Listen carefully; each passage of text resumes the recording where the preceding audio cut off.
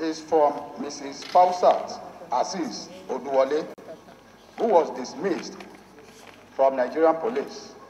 Petition against the Inspector General of Police, Mr. Solomon Arase, for criminal contempt of court, flagrant disobedience to court order, high-handedness, and utter disregard to judgment of court, and insubordination,